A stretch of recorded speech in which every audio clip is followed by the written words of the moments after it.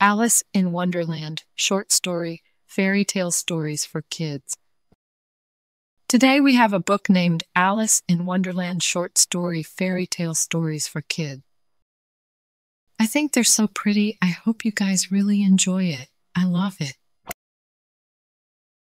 Please give this video a like if you enjoy it and don't forget to subscribe for more stories. Thank you, reading. So, here we go.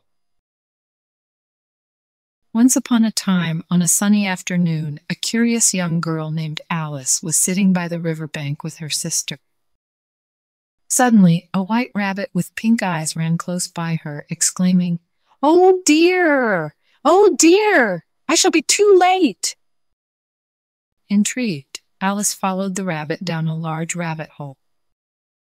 She fell for what seemed like a very long time and landed softly in a curious hall filled with many locked doors.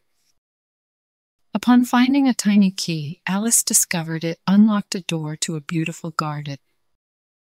But she was too large to fit through. She then found a bottle with a label that read, Drink me.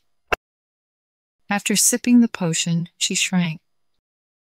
As she wandered, Alice encountered numerous strange creatures including a caterpillar who asked her, Who are you? This puzzled Alice, who realized she had changed several times since the morning.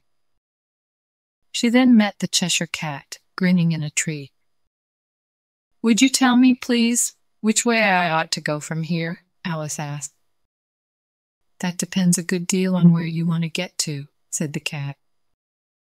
As Alice wanders through Wonderland, she comes upon a large table set under a tree.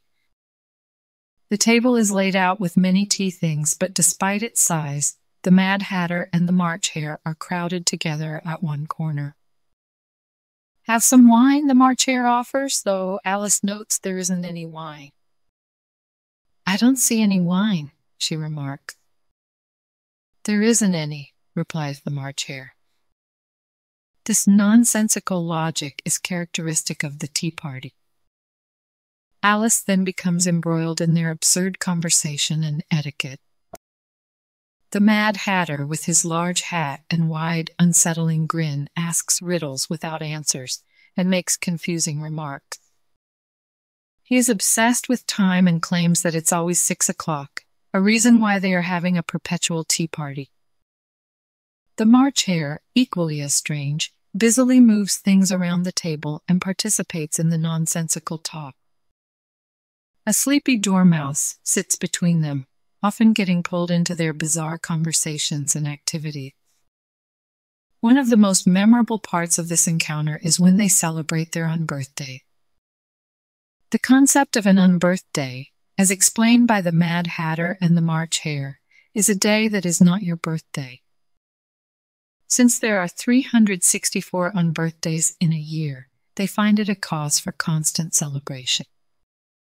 Leaving the odd tea party behind, Alice wandered deeper into Wonderland and soon found herself in a peculiar wood where she couldn't remember anything's name, not even her own.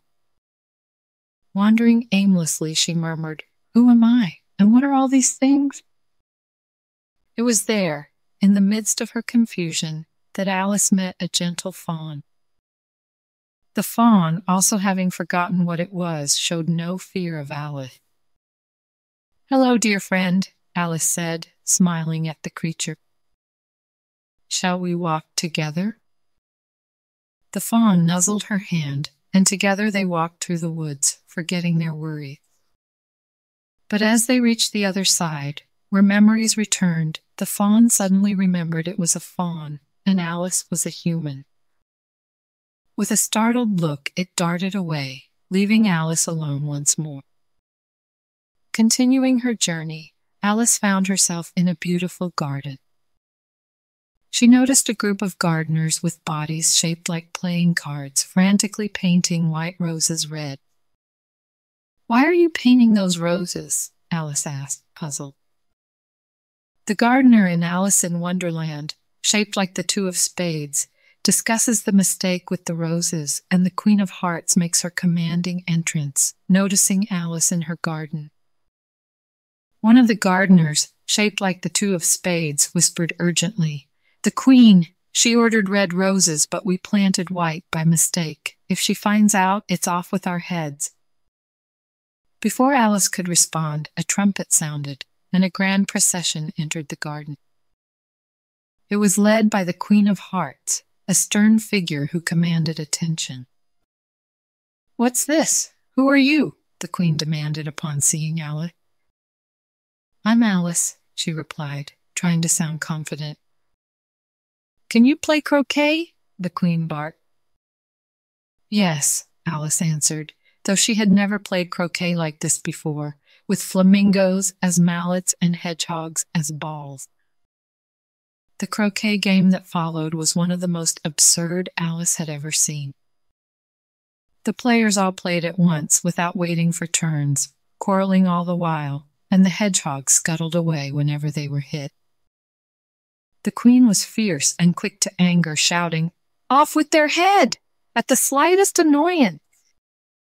Through this encounter, Alice experienced firsthand the fearsome and unpredictable nature of the Queen of Hearts and the bizarre rules that governed her kingdom.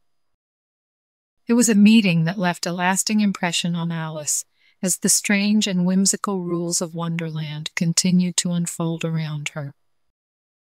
Leaving the bewildering croquet game behind, Alice continued to navigate the surreal world of Wonderland.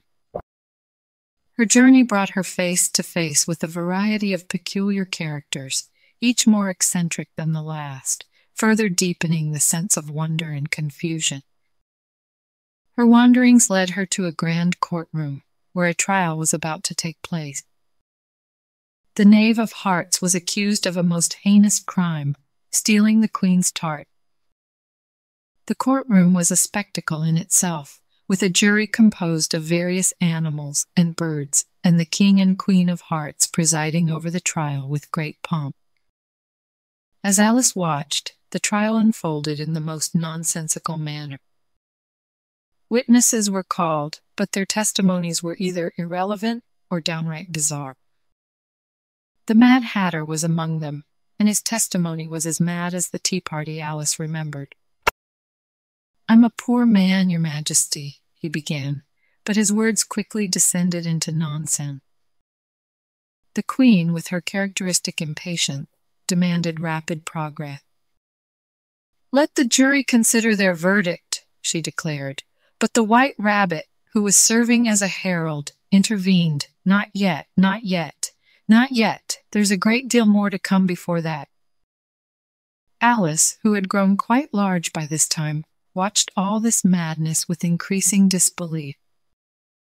She thought the whole thing was utterly ridiculous, a mockery of justice. Finally, when the queen, in her haste to punish the knave, called for the sentence without a proper verdict, Alice couldn't hold back any longer. She stood up, towering over everyone in the court, and exclaimed in a loud voice, Who cares for you? You're nothing but a pack of cards. In an instant, chaos erupted in the courtroom. The cards rose into the air, flapping wildly like a flock of birds, and swooped down towards Alice. Alice sleeping peacefully in a garden. At that very moment, Alice woke up. She found herself lying on the grassy river bank, her head in her sister's lap. All her strange adventures in Wonderland the Talking Rabbit, the Mad Hatter, the Cheshire Cat, the Queen of Hearts, and the Peculiar Trial had been a curious dream. Alice sat up, recalling her extraordinary dream with a mix of wonder and amusement. She recounted her adventures to her sister, who listened with a smile as the sun continued to shine brightly on the peaceful river bank. The end. Good job, friends. Thank you so much for reading with me. Bye, I'll see you next time.